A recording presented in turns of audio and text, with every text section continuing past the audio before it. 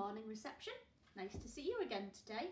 It's Monday and are you ready for some new stories? Today's story is called What the Ladybird Heard on Holiday. And this one's a new one for me too. I've not read it before. Let's have a look. Where the ladybird goes on her holidays.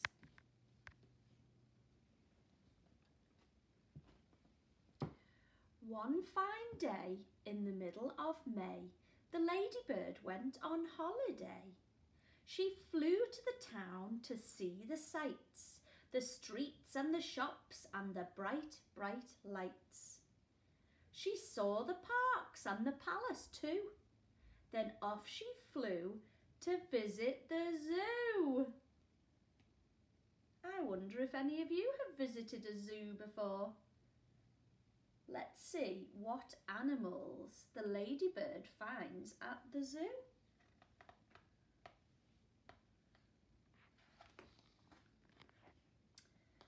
And the crocodile snapped and the tiger growled, the lion roared and the monkeys howled. The elephant trumpeted, trump, trump, trump. Humph, said the camel with a great big hump.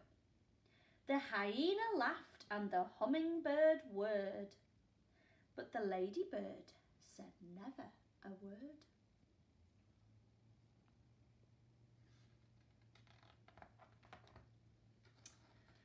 But the ladybird saw and the ladybird heard. She saw two men she already knew. They were Lanky Len and Hefty Hugh and she heard them chuckle. Ho, ho, ho, we're going to kidnap Monkey Joe. Oh my goodness. I wonder which one Monkey Joe is. There's the monkey enclosure.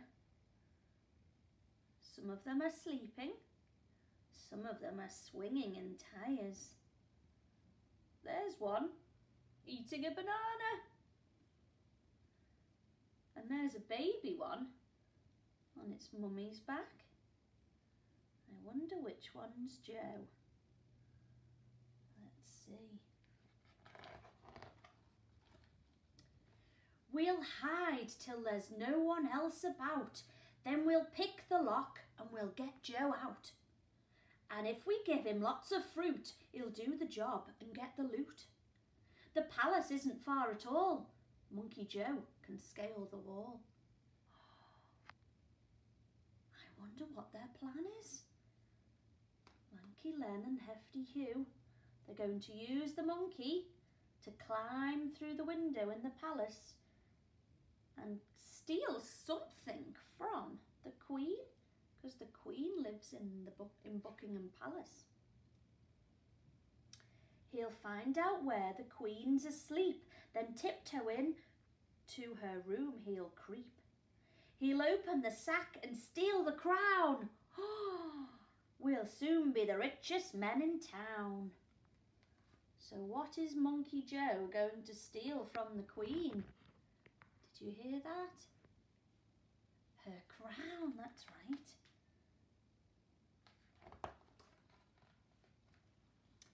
The little spotty ladybird told the animals what she heard. And the crocodile snapped and the tiger growled, the lion roared and the monkeys howled. The elephant trumpeted, trump, trump, trump. Humph, said the camel with the great big hump. The hyena cried and the hummingbird whirred, and all of the animals, feathered and furred, said, no, no, no, no, no, no, we can't let them kidnap Monkey Joe. Wonder what they're going to do to stop Hefty Hugh and Lanky Len from stealing Monkey Joe. Let's have a look. But the ladybird had a good idea and she whispered into the monkey's ear. This must be Monkey Joe. Can you see the ladybird whispering into his ear? I think the ladybird has a plan. Hope it works. Let's see. Then straight away the ladybird flew to the palace and had a word with the queen's two corgis, Willow and Holly. And one said gosh and the other said golly. There they are, Willow and Holly. That's Willow, like my, my Willow, but she's a cat. Here's the palace. And there's the guards, all marching in front of the palace. And there's the flag flying to tell you that the Queen is at home. That flag is called the Royal Standard. And when that's flying above the palace, it means that the Queen is there. And both the dogs agreed to do just what the ladybird told them to. Oh, so she's getting the dogs involved in the plan too. Wonder what they're going to do. What's happening on this page? Can you see? What's Lanky Len and Hefty Hugh doing with Joe? Let's find out. At the dead of night, the two bad men, Hefty Hugh and Lanky Len, checked there was no one else about then they picked the lock and they got Joe out. Oh my goodness. Can you see what fruit they've brought? I wonder what Joe likes the best. Do you think he likes apples, oranges, looks like some tomatoes there, or bananas? Which do you think he likes the best? I thought bananas. Did you think bananas? we all know monkeys like bananas. They carried him off to the palace gate, gave him a sack, then lay in wait. They watched him scale the palace wall, and they muttered, Careful not to fall. Then they rubbed their hands as they saw him creeping into the room where the queen lay sleeping. Clapping their hands, they think they've got the crown. Here Corgi Holly and Corgi Willow, who lay each side of the queen's soft pillow, were wide awake and they said to Joe, Come on, monkey, off we go. They led the way while the queen still slept and they showed young Joe where their bones were kept. What are they going to do with the bones, do you think? They, the monkey hasn't got the crown, has he? What's he putting in the bag instead? Their bones. Then they helped the monkey fill the sack and they wagged their tails as he carried it back. Oh, it's getting exciting. Let's see what happens next. The two thieves yelled, hip hip hooray! But now let's make our getaway. They carried the sack to a nice quiet park where the only sound was a distant bark. They found a bench and both sat down and Hugh said, time to see that crown. Was the crown in the sack? It wasn't, was it? What was in the sack instead? The bones, that's right. I just can't wait, said Lanky Len. They opened up the sack, but then... you should have heard their moans and groans to find the sack was full of bones.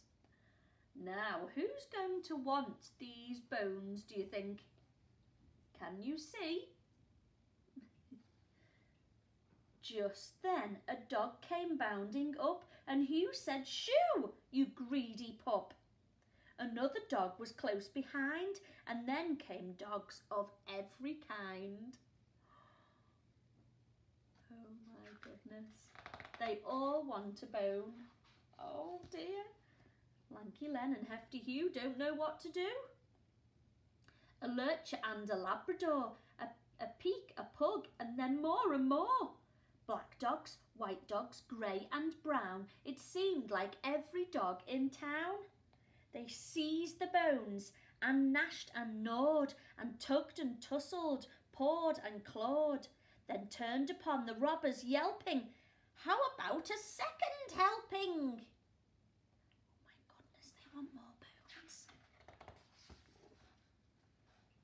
The thieves took off with leaps and bounds, pursued by all the hungry hounds, while the monkey ran and the ladybird flew with never a stop till they reached the zoo. There goes the ladybird. Can you follow her trail? Can you see the animals in the zoo? I can see one. Do you recognise that one? That's a giraffe. That's right. There's two there. Let's see. Then the crocodile grinned and the tiger pranced, the lion leapt and the monkeys danced. The elephant trumpeted, trump, trump, trump.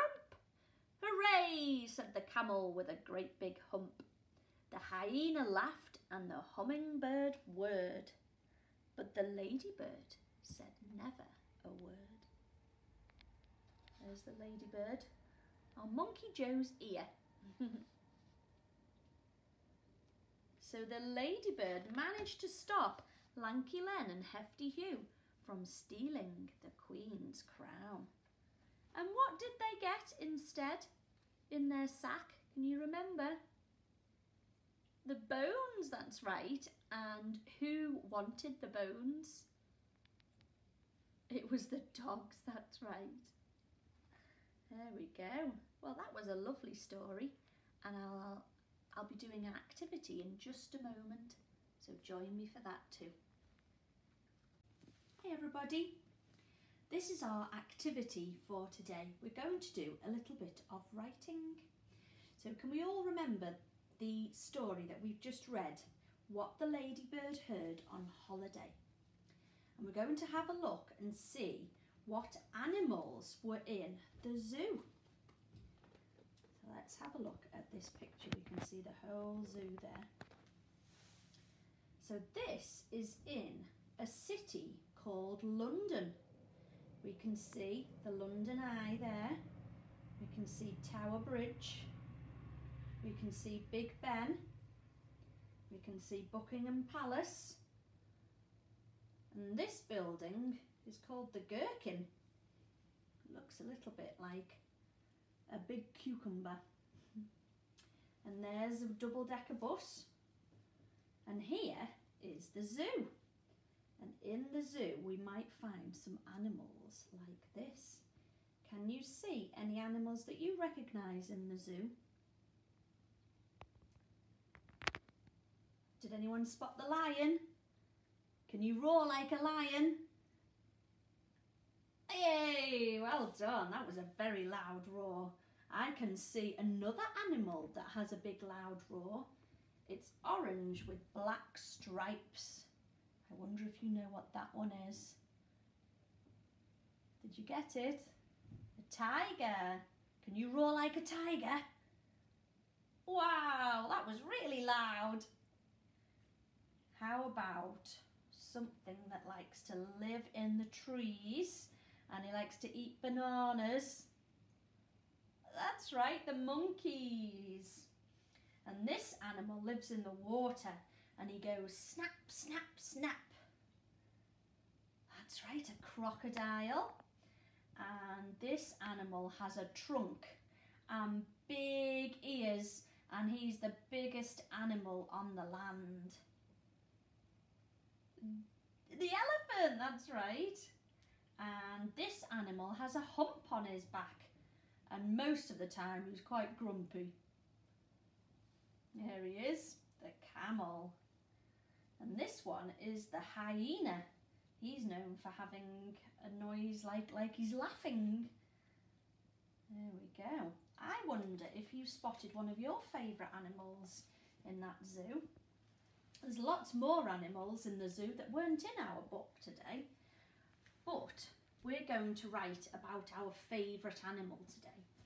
And my favourite animal, I wonder if you can guess. Some of you already know. My favourite animal is the penguin. So I'm going to write about my penguin today. And my title is at, do you know what this word is? One of our tricky words. The, that's right, at the zoo. Zoo. Zoo. At the zoo. So my sentence is going to start with I like, so I'm going to write the word I. There's one of our tricky words. I. When I'm writing a sentence, I need to remember to put my finger spaces in. Like. What does like begin with? Oh, that's right. This is another one of our tricky words. Like. Oh. I. What else can we hear? K, that's right. And this one's a kicking K. Like. Now this one has a silent E on the end. We can't hear the E, but that's how we spell like. I like. I'm going to leave a finger space and put the animal that I like. Penguins. What does penguins begin with? P, that's right. P, p, p. P for penguin. Down, back up and over. Pen, p, p, n, pen. Now this is quite a difficult spelling, so I'm going to have a go for you. It's a g, and up, an it, and a. And because I like more than one of them, we have to put a s on the end. Let's read it together. I like penguins. What do I need at the end of my sentence? A full stop. That's right, not a football, remember, just a little dot. I like penguins. Now, my next sentence, I'm going to tell you something about a penguin. Um, I'm going to write a penguin can swim. So I need to start with a capital letter, a capital A, up, down and across. A, then I'm going to write my penguin word again, leaving my finger space, remember? Penguin, P, E, N, G, comes next. Oh, I, N, there we go. I don't need the S on the end because I'm writing a penguin. A penguin can. Oh, I wonder if you can sound out the word can. Leave my finger space. What does can begin with? K, that's right. K, can, k. Ah, that's right. K, ah. Can, can. Mmm, well done. A penguin can. Now I wanted to write swim. So I'm going to leave my finger space. What does swim begin with? S, brilliant. Swim, swim, w, w, w. Down, up, down, up. Swim, swim. I, I, I. Do you hear that it sound there? Swim. Mmm. Perfect. Swim. Let's read it together. A penguin can swim. And full stop. There we go. So I've written two sentences about my penguin. I like penguins. A penguin can swim. And I've already drawn my picture of my penguin there. So that's your challenge today. Have a think about your favourite animal that you might see at the zoo and have a go at drawing a picture of it and then writing two sentences just like mine. Well done, reception. See you tomorrow. Bye.